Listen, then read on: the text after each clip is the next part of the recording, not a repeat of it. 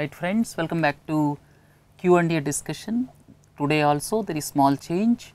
We will upload revision session before evening and this lecture only one live lecture at 11 o'clock today.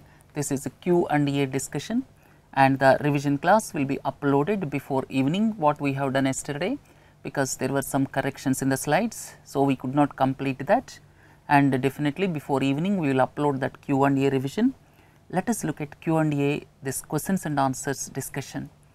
Revenue from taxes like excise duty, all types of taxes like personal income tax, corporation tax goes to consolidated fund of India, CFI and government can use it for any purpose depending on the appropriation bill. In the appropriation bill, the amounts which are to be withdrawn from that consolidated fund of India that parliament has to give approval to the appropriation bill and this is correct and with regard to cess some people have several doubts and even newspapers also it differ from one newspaper to other newspaper the tax revenue from cess like Swachh Bharat cess, Krishi Kalyan cess like that is first credited to consolidated fund of India. The tax revenue from cess is first credited to consolidated fund of India and the central government after due appropriation made by parliament can utilize the money for the specified purposes. So, cess in fact the proceeds from cess also go to consolidated fund of India but the central government after due appropriation made by parliament apportions that money for the specified purpose right like central road fund like uh, the Krishi Kalyan cess, Swachh Bharat cess. So, these are examples, but some of the newspapers have written that cess will not go to consolidated fund of India, but I am sure that this is the right answer right and look at the following sentences. Cess and surcharges, cess and surcharges need not be shared with the states and they do not come under the divisible pool of taxes. I think probably most of you may know this. Both cess and surcharge go to the consolidated fund of India while surcharge can be spent for any purpose, surcharge can be spent for any purpose but cess can only be spent for the specified purpose after due appropriation from consolidated fund of India. Both will go to consolidated fund of India and cess will again come back for the specified purpose the amount which is deposited into CFI will come back after due appropriation through the parliament right. So, these two things. So, why I have taken these two things is some of the students are raising doubts about cess and surcharge. Look at the third one, quite often we come across carbon neutrality. What exactly do you understand by carbon neutrality? Three things please do not forget, one is carbon neutrality, second one is carbon sequestration, third one is carbon credits. Carbon neutrality, carbon sequestration, carbon credits. Here what is meant by carbon neutrality? Carbon neutrality is achieving net zero carbon emissions. Overall target is achieving net zero carbon emissions. My industry may release 10 tons of carbon dioxide. At the same time, I should have a mechanism to absorb that 10 tons of carbon dioxide, whatever the way when I am releasing 10 tons of carbon dioxide, I should be in a position to absorb that 10 tons of carbon dioxide. So, that is uh, in fact net zero carbon emissions, emissions will be there, but there should be some mechanism to absorb those emitted carbons, right. So, it is achieving net zero carbon emissions by balancing a measured amount of carbon released with an equivalent amount carbon sequestrated. Carbon sequestration, there are two methods, one is terrestrial sequestration, other one is geological sequestration. Terrestrial sequestration is if some wetlands are there, they will absorb this carbon released, right. So, this carbon emissions will be released terrestrially by developing these wetlands and some other mechanisms which can act as carbon sink and another thing is geological sequestration. Geological sequestration means you capture the carbon emissions and put it into underground. So, sequestration can take two forms. One is a terrestrial sequestration, second one is geological sequestration and if at all I am not able to absorb the emissions, then another mechanism is there carbon credits. So, please understand what is meant by carbon neutrality. It is achieving net zero carbon emissions by balancing a measured amount of carbon released with an equivalent amount sequestered or offset or buying enough carbon credits to make up the difference. So, when I am emitting carbon dioxide, then I should have a mechanism to sequester it. If it is not possible, then I can have this mechanism of carbon credits also, right. What is meant by carbon credit? A certificate showing that a company or government as has paid to have a certain amount of carbon dioxide removed from the environment is known as carbon credit. If I am releasing 10 tons of carbon dioxide and my friend's company Y, some environment company is in the field of removing carbon dioxide from the atmosphere, then I will pay to that firm which is the mechanism known as carbon credit I am not able to neutralize my carbon emissions, then I will approach another firm which is taking out carbon emissions and this mechanism is known as carbon credit. So, please understand certificate showing that a government or company has paid to have a certain amount of carbon dioxide removed from the environment is known as carbon credit. Right friends, these three things please do not forget carbon sequestration, carbon credit and the third one is carbon neutrality. These are quite often in the news. Then border hats, these are quite frequently in the news. What is meant by border hat? Border hats are nothing but traditional system of marketing. Some local forest produce may be there, some locally made indigenous product may be there and there should be some traditional local market, right. So, they are nothing but traditional system of marketing the local produce through local markets and look at the following sentences. Here border hats are in operation along Bangladesh. Please understand officially they are not in operation in Myanmar. Myanmar some unofficially there may be border hats, but as per the PIB report only border hats are in operation along the Bangladesh border that too in two states that is Meghalaya and Tripura. So, Meghalaya and Tripura are two states where border hats are located at present and officially border hats are in operation along Bangladesh only, along Myanmar unofficially they are in operation and Bhutan there are no border hats and the first one is wrong then the trade is permitted to be carried out. As I have already told you, these border hats are in operation along Bangladesh border and here the trade is permitted to be carried out in Indian rupees, Bangladesh taka and on barter basis also.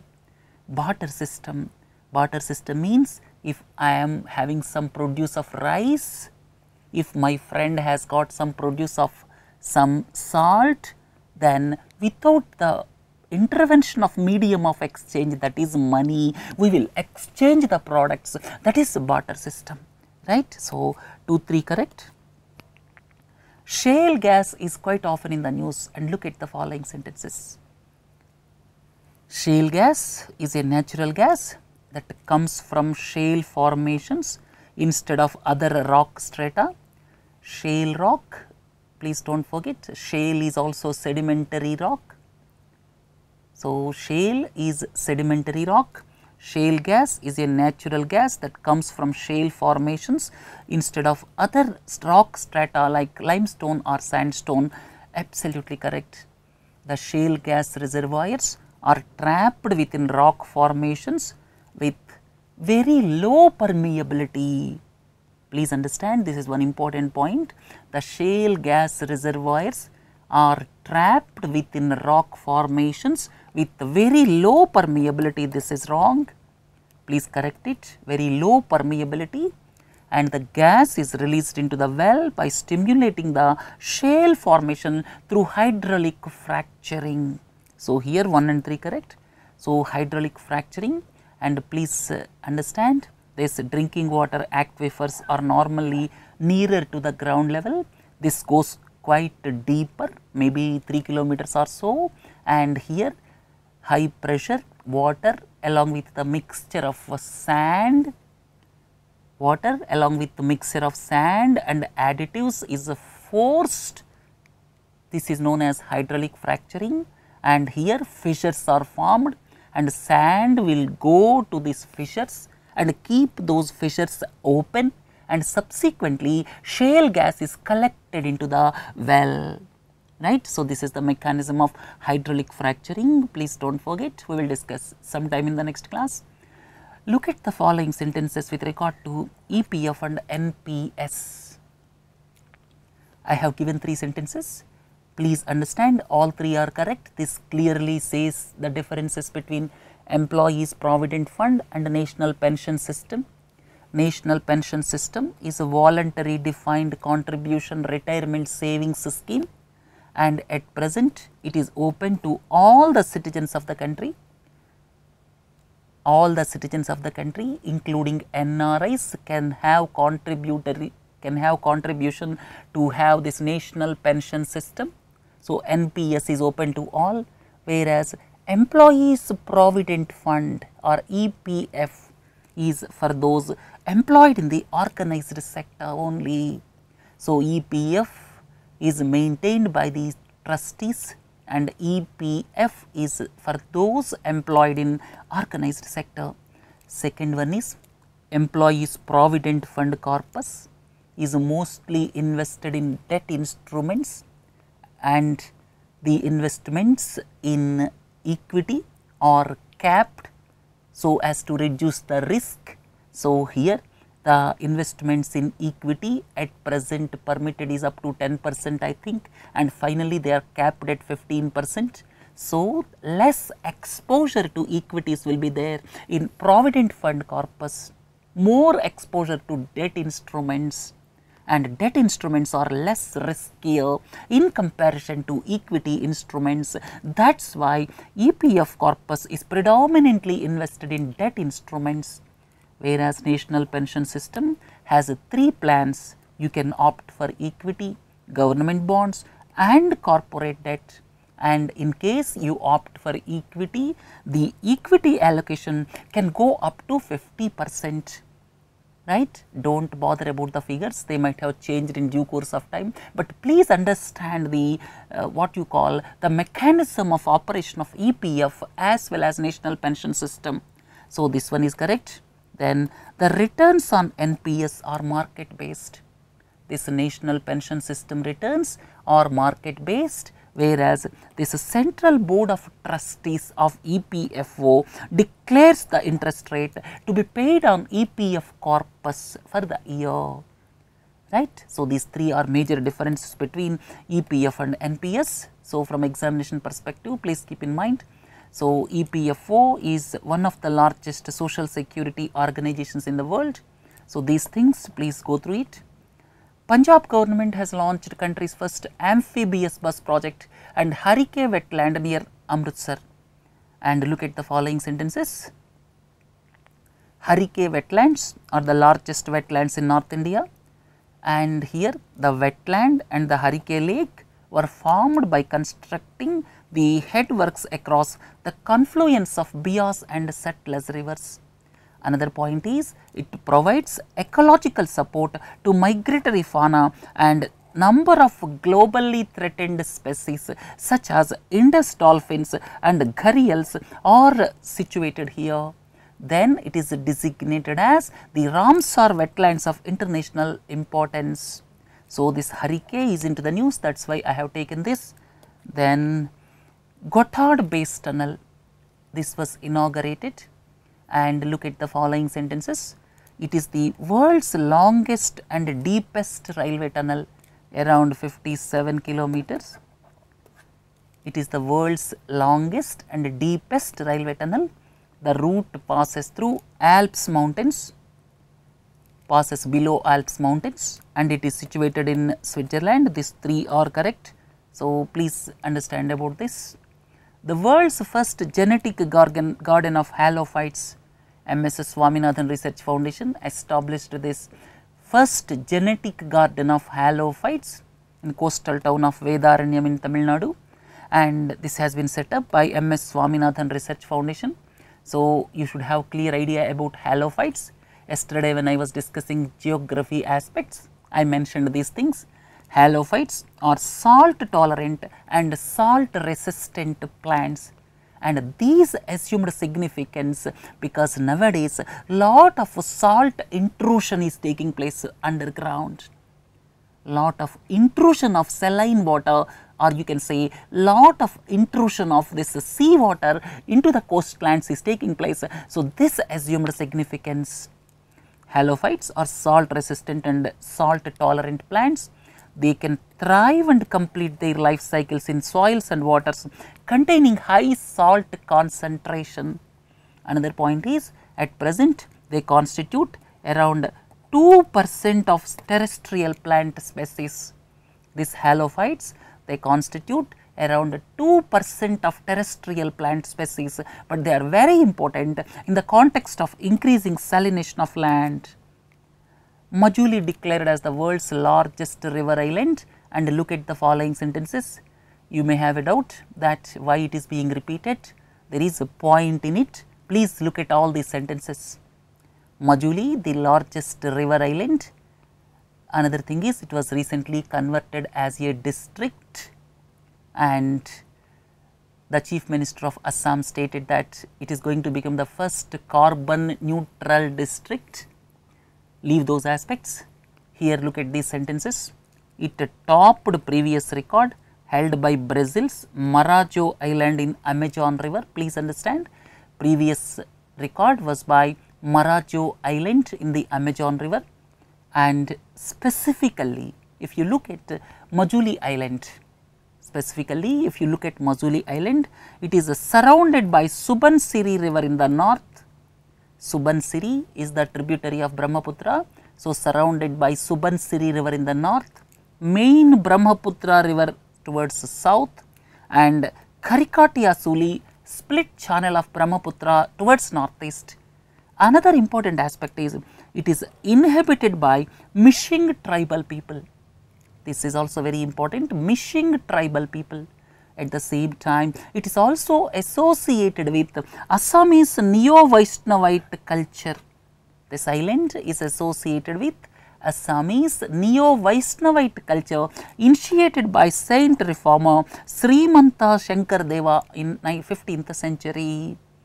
So, these things very very important if you look at Majuli island from examination perspective, right. We have discussed this is the location of Majuli island then Kanchenjunga National Park is now World Heritage Site and look at the following sentences and please do not forget this is India's first mixed World Heritage Site.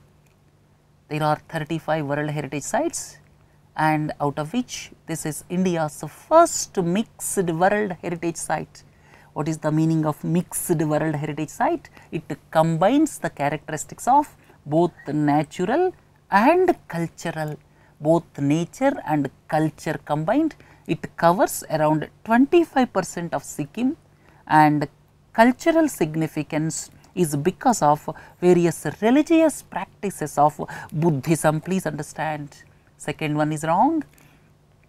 This Kanchenjunga National Park is a World Heritage Site and it is the first mixed World Heritage Site that is the first point.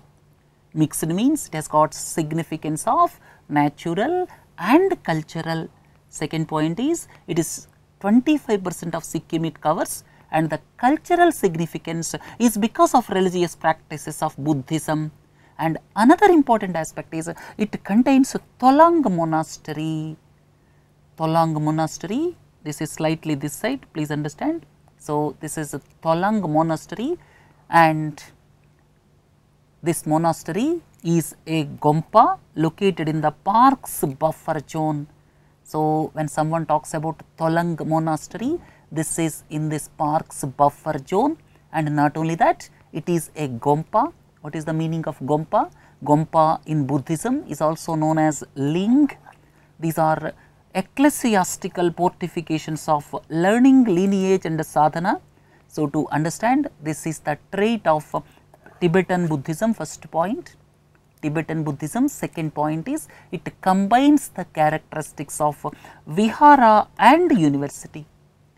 Vihara and university this combines these characteristics I am talking about Gompa and this is associated with the Tibetan Buddhism and these are quite common these gompas are quite common in Tibetan religions regions including parts of China, India, Nepal, Ladakh and Bhutan right. So, here this is a Tolang monastery it is a gompa in Sikkim and considered to be most sacred monasteries in Sikkim. Then Kanchenjunga is the third highest mountain in the world. So, 1, 3 and 4 so, please understand the significance of this World Heritage Site Kanchenjunga National Park. Then let us go ahead. Chandigarh Capital Complex, this became UNESCO World Heritage Site and look at the following sentences. All of you are familiar, it is designed by Swiss born French architect Le Corbusier and this became part of the World Heritage Sites of transnational category and it is a part of UNESCO recognition of Le Corbusier architectural works in different parts of the world. India's this uh, Chandigarh capital complex is one of the item which is in the transnational category. The point to note here is Le Corbusier works became part of this transnational category of uh, this world heritage and India's capital complex is one of them and the next point is the capital complex buildings include the Punjab and Haryana High Court, Punjab and Haryana Secretariat and Punjab and Haryana Assembly. China has established country's first dark sky reserve and some places it is mentioned as dark sky reserve and some places it is mentioned as a dark sky reserve and two things I would like to tell you. One point is it is a free of artificial light, it is a free of artificial light pollution these only called this dark sky reserves. Then another point is this artificial light if it is not there then astronomical objects can be better investigated or viewed. So, to eliminate this artificial light regions will be declared as dark sky reserves. So, look into the sentence China has established country's first dark sky reserve for astronomical observations in the Tibetan prefecture of Nagri and look at the following sentences it is an area that is kept free of artificial light pollution. Second point is the purpose of dark sky reserve is generally to promote astronomy very important and it can seek the accreditation or you can say recognition from the International Dark Sky Association this International Dark Sky Association is the non-profit organization based in USA and if it gets the accreditation, it will help reserve in preserving and protecting the night time environment and dark skies globally right. This is all about dark sky reserve of China established in Tibet. Mahasthangarh was declared as SAARC cultural capital for 1617. This is the location of Mahasthangarh. This is in Bangladesh. Yesterday we have seen this and it is the 3rd century BC archaeological site in Bogra, Bangladesh. It is the 3rd century BC archaeological site in Bogra, Bangladesh. Second point is it is the ancient capital of Pundravardhana, ancient capital of Pundravardhana, home of the Pundra, a group of people not speaking languages of Indo-European family, right. So, both are correct.